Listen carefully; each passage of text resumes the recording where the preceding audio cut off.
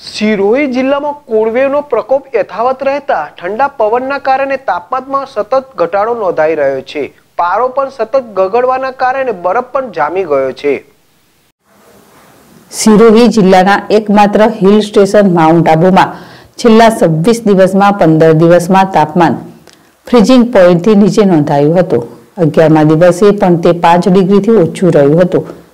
Mount આબુમાં લગભગ એક મહિનાથી શિયાળાનો તીવ્ર પ્રકોપ યથાવત છે. વધતી ઠંડીના કારણે લોકોની દિનચર્યા પર ખાસી અસર જોવા મળી રહી છે.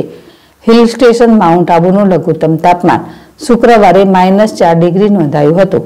પારો ગગડવાના કારણે મેદાની વિસ્તારો સહિત અનેક જગ્યાએ બરફ જોવા મળ્યો હતો. ઠંડી એટલી વધી ગઈ છે કે લોકો બપોર સુધી ઘરમાં જ રહે છે. જ્યારે સવારે શાળાના બાળકોને મુશ્કેલીનો સામનો કરવો પડી રહ્યો છે. ઉત્તર ભારતમાં હિમવર્ષાની અસર હવામાન વિભાગના જણાવ્યા અનુસાર ઉત્તર ભારતના પર્વતીય વિસ્તારોમાં સતત થઈ રહેલી હિમવર્ષાની અસર મેદાની અને ઊંચા પર્વતીય વિસ્તારોમાં જોવા મળી રહી છે. આ કારણે રાજ્યમાં ઠંડીનું મોજું ચાલી રહ્યું છે. માઉન્ટ આબુમાં છેલ્લા એક મહિનાથી ઠંડી પડી રહી છે. હિલ સ્ટેશનનું તાપમાન સતત બિંદુથી નીચે નોંધાઈ રહ્યું છે. માઉન્ટ આબુમાં ઠંડીથી બચવા લોકો ગરમ વસ્ત્રો સાથે બોનફાયરનો આશરો લઈ રહ્યા છે.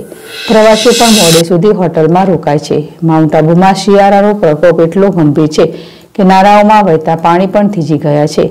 ગટરોના પાણીના બરફના થર જામેલા જોઈ શકાય છે. આ સાથે નક્કી લેક પર પાર્ક કરાયેલી બોટ, હોટલ અને ઘરોની બહાર પાર્ક કરાયેલી કારની છત બહાર રાખવામાં આવેલ પાણી પણ થીજી જાય છે. ફેન્સિંગ અને ખુલ્લા મેદાન તરફ નજર કરીએ તો પણ નજારો સરખો જ છે. બરફની ચાદર દેખાય છે.